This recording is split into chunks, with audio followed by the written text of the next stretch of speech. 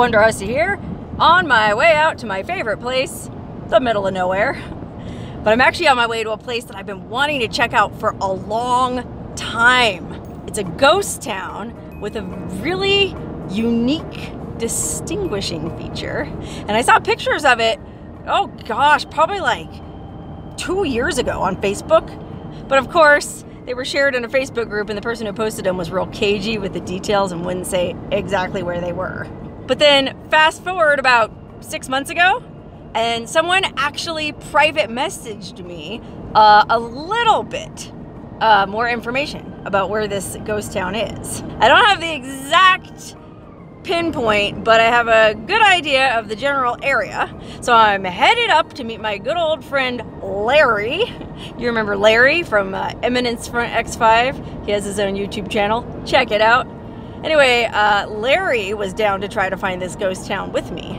And between the two of us and what little information we have, I think we might actually track it down.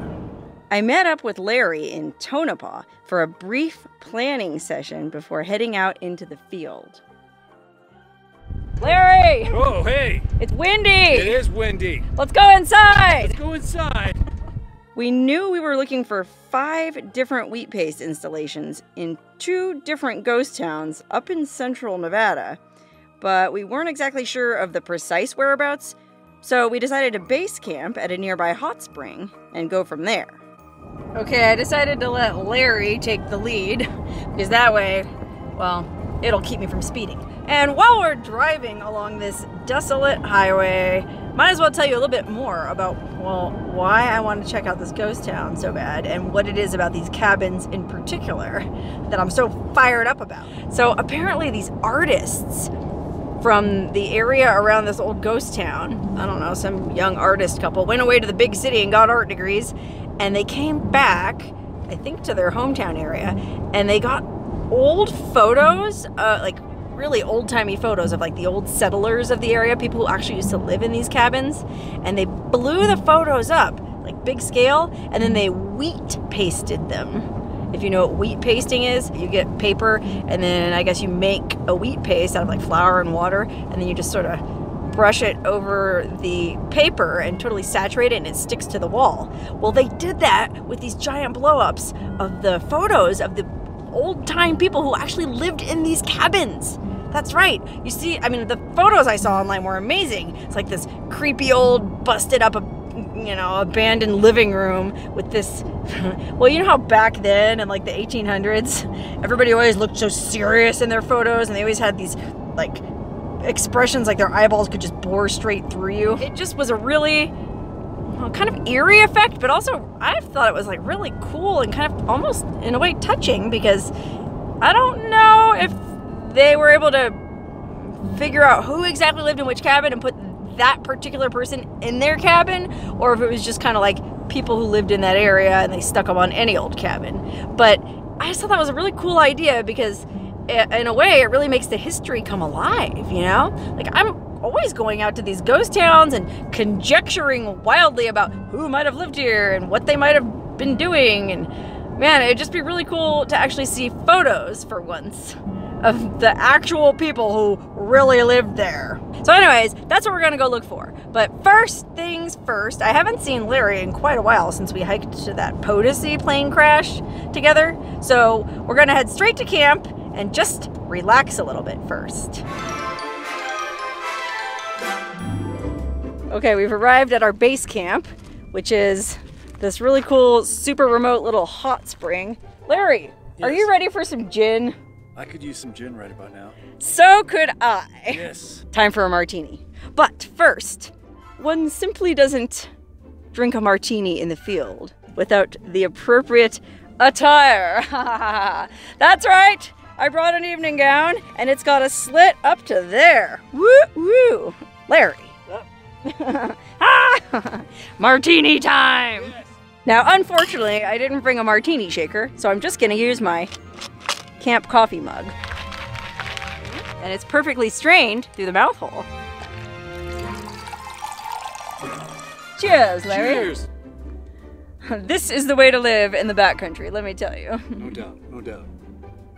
Okay, that little fur wrap wasn't cutting it, man. It got a little chilly out here, so hopefully this camp shirt doesn't clash with my diamond earrings. Wait a minute, what am I talking about wearing a camp shirt if I'm cold when I have this hot spring to get into? Oh my gosh, that's much more like it. Ah. Uh, now this is the way to enjoy a martini. Oh my god, Larry, what is this? It's uh, alien meat. Oh my god, how friggin' good does that look? Oh, and if you think it looks good, you should smell it. Yes. Larry, I think this calls for another round of martinis. Martinis sound good.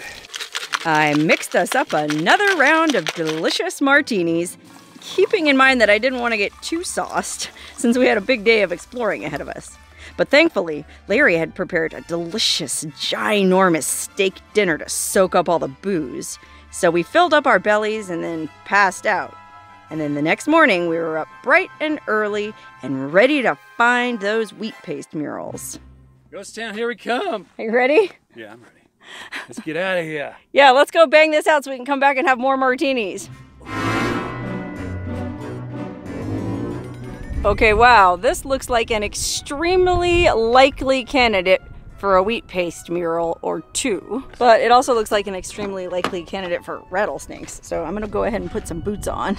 Okay, let's go find some wheat paste murals. Really cool. Oh, look, yep, there's one right there. Ah, oh wow, but look what happened. I wonder why half of it's peeled off. Like if some hater did that? Or like, was it somehow caused by the weather? I mean, seems kind of hard to believe. It looks like there's a big strip that somebody peeled right down the middle and took out half of that gal's face. How disrespectful. Oh wait, I just caught a peek around the corner in this room, look. Oh my gosh, another one. This is so cool, you guys. Wow, okay, obviously this picture is not from the 1800s. It looks more like it's from the 19, I don't know, 30s, 40s. Oh look, there's like a stack of magazines on the table there. Maybe that has the date on it. It's really blurry, unfortunately, so... Bunch of old National Geographics, and I can't quite make out the year, but... Anyway, it's not an 1800s photo like that other one, but that's pretty cool.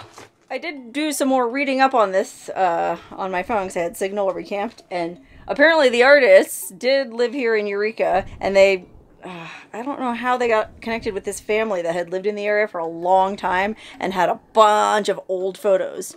So these are actual pictures of old-time residents of this area, but I don't know if that baby for sure grew up in this house. I Wasn't able to find that information out, so... Hmm. Oh, wow. You want to see something that's really cool? I think maybe that baby was in this house because see how it's sitting in that easy chair? And then look what's below it. I'm pretty sure that's the same exact chair. I don't know. Isn't that the same kind of upholstery pattern? It's hard to really make out. But it's kind of like a it's kind of like a floral pattern. Which is exactly what that chair is there. Holy moly! Well, where's all them Nat Geos then? This is amazing. Wow, I salute these artists. What a cool idea. Well, I think it's cool that there's like bullet holes in the wall. But at least they didn't shoot up this. I mean, how would you how could you shoot up a face like that? Okay, wow, man. This is unreal. And this is only one out of five cabins. I feel like I'm on a treasure hunt, like an Easter egg hunt or something. There's supposed to be three different cabins in this area that have those pictures on the wall. So let's go. There's one up the hill there that might be worth checking out. Man, I'm glad I put these boots on. Oh wait, look, there's another little house there. So we'll go in there first and then we'll go up there. See if there's anything in here. Will there be a wheat paste mural in here? Oh, yay, yay. Oh my goodness. Look how cool this old wallpaper is that's still on the wall. This is amazing. Look at that pattern and the way that it's been sort of eaten off over the years. That is cool. Oh wow, and then look at this wallpaper. That looks really old. Although technically it's newer than that other print because you can see here where they kind of just pasted over it. Oh wow, and then look here. It looks like two dudes about to engage in fisticuffs. I think I've seen that in a meme. Right? They're two guys about to start boxing, and it looks like it's maybe you know how they used to use newspapers to insulate the walls? I guess those are maybe pages out of an old newspaper. Wow, that is friggin' old. Holy moly. Man, for being a complete wreck, this cabin has a lot of really interesting, creepy stuff hanging all over the walls. But unfortunately, no wheat paste murals. So let's keep looking. Okay, now I'm gonna go check out that other house that was up there. Gotta be careful where you step around these parts. There is all kinds of busted up detritus all over the ground. Look at all these old cans, old food cans. Oh wow, there's some of that really cool, pretty old purple glass. Little bits of china. Okay, let's go check in here just in case. It looks pretty busted, but hey, you never know where those artists went and put up their art. Holy cannoli. Look at this place. Now look at that. It's got this weird like doorway in the corner, almost like it was a phone booth or something, like a tiny little room. What that what do you suppose that was for? Some old core samples. Miner lived here. Wow, look at this pattern on this wallpaper. So cool. Actually, all the different layers of wallpaper over the years, you know? Styles changed, tastes changed. you know, I can just see like some old miner talked his wife from his fancy back east bride into coming out to Nevada to live in this godforsaken mining town. And well, she agreed to it, but she insisted on new wallpaper every year because she had the, the Godey Ladies book, that old magazine they used to read. And so she always wanted to stay up on the trends because, well, she was a high class back east lady. And even though he dragged her out here to Nevada, she was still going to be at the height of fashion. Okay, now let's go check out. Oh, look, there's a couple more little cabins down here I didn't even see. We'll go poke in them and then we'll go in that really creepy big house. Any wheat paste? No. Nope. Okay, let's go in the big enchilada. Now, I don't know about you, but this looks really exciting to me. Like your prototypical creepy old abandoned house. Possibly haunted, probably by demons. Okay, let's go in. Oh my gosh, this is spooky.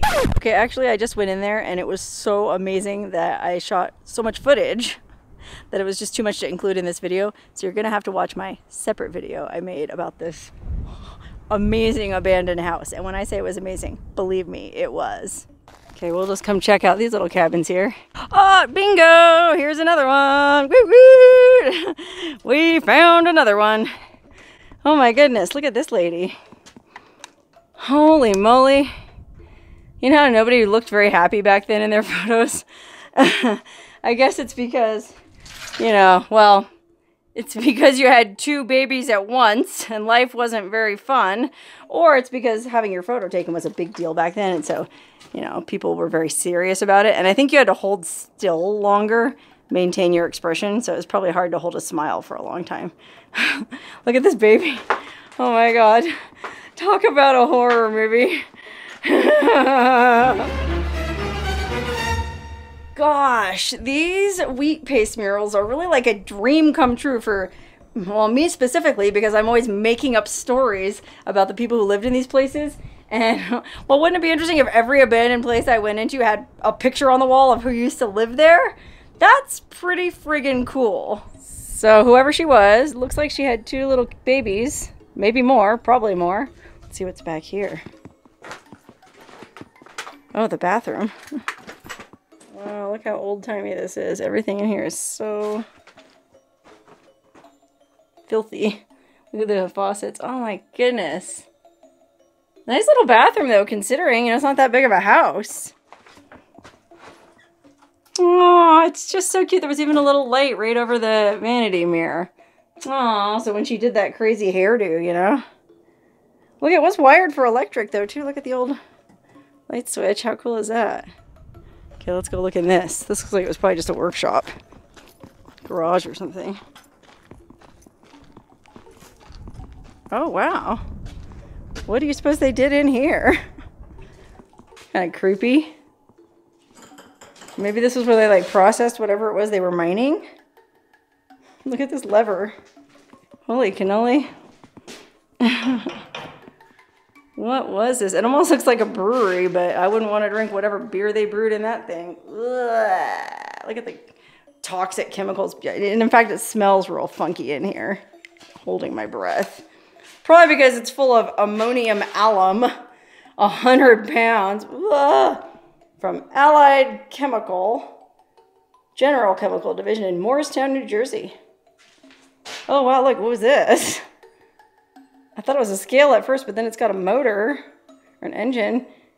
what on God's green earth? This is creepy. This giant deep freezer. Now this would be the place to find a body, but today's not our lucky day. Okay, wow, I said this was probably just a workshop and it turned out to be like the most epic workshop in the history of workshops. And then look in here. It's in the trash.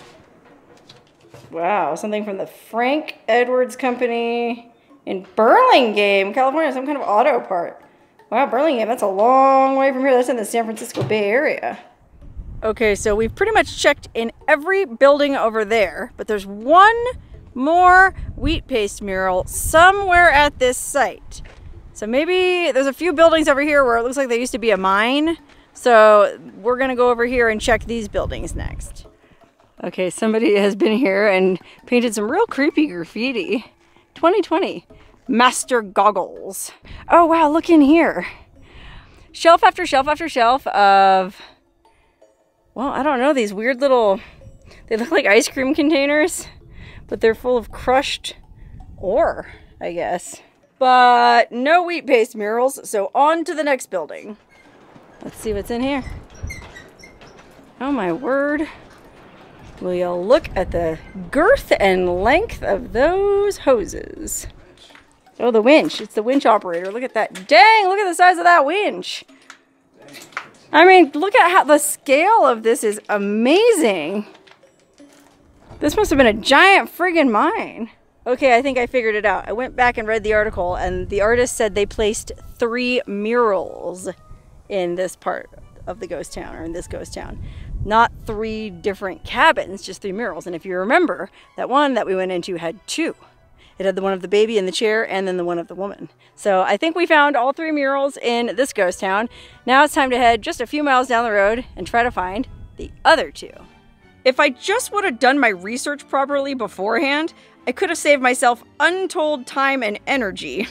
but as it was, Larry and I spent all afternoon driving and hiking around, poking our noses into all kinds of abandoned mining structures, none of which contained any wheat paste murals, but all of which had plenty of interesting stuff to look at. But I didn't come on this trip to look at mining machinery. I wanted to find the final two wheat paste murals. And it was late in the day when it finally occurred to me that instead of driving around burning up time and gas randomly looking in every old building I came across, I should just find a place where I had cell signal and reread the information I had. Which, when I finally did so, led to a magnificent duh moment when I realized that the name of the second ghost town was clearly mentioned in my intel, and all I had to do was look it up to find exactly where it was, and then drive straight there. Oh, I see a cabin! Oh, I see another cabin! Oh, wow, yeah, look at that tailings pile. Okay, I think we're almost there. Oh my god, I am freaking exhausted and it's depressing to think that most of it is due to unnecessary hikes. oh well. Okay, we don't have a ton of daylight left and we still have to get back to camp and make those martinis, so I'm just gonna blaze into these houses and find these dang murals. And this one here looks like a great place to start. Let's go on in. Oh my goodness. Look, Nevada Bell telephone address. Oh my goodness. Uh-oh. I don't want to say it too loud because I don't want to give it away, but here's one. Look. oh no. Look, somebody gouged her eyes out. Why would you do that? And it says Mine Explorers on YouTube. Why? Oh, if anybody watching this watches the Mine Explorers on YouTube, well, you can tell them that I'm very disappointed in their behavior. You know what I mean? Like this poor woman grew up in or lived in this house. And for some idiot to come in here and gouge her eyes out and write on her forehead, like just shows massive lack of respect and class. Boo. Okay, well that was one. Man, this house is creepy though. I mean, I'm sure it was real nice back in the day when that poor woman lived here, but right now. Ugh. Oh wow, the bathroom. Look at this. Yikes, snakes coming through. Don't even want to breathe in here, but look at that freaking tile in the bathroom, how bright it is compared to the rest of the house. Oh my gosh. Aww. Okay, well, even though it was desecrated, we found one.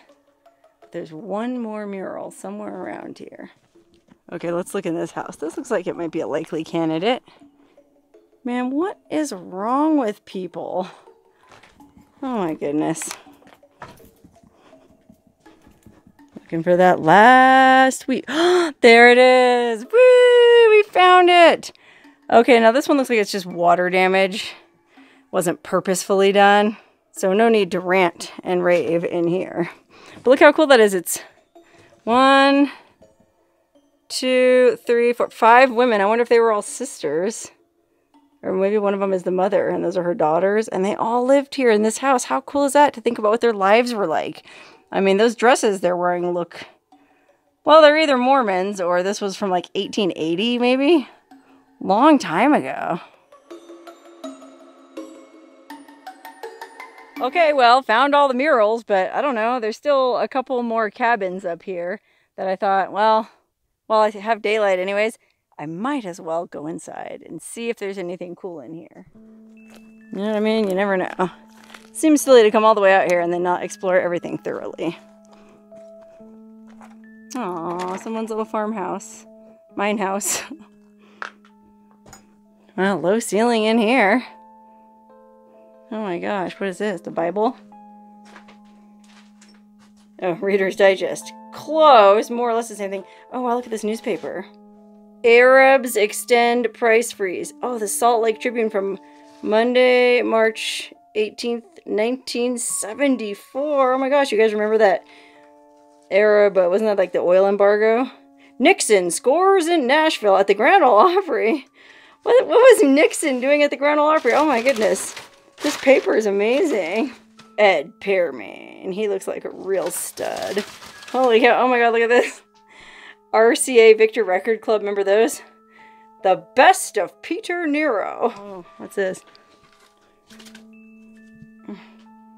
I mean, just enough to. I mean, you see this guy kissing something, and then it says something about mashed potatoes. I don't know, man. Oh, I see.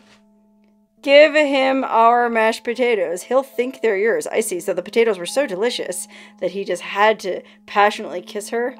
Little did he know, she just dumped him instant in a bowl.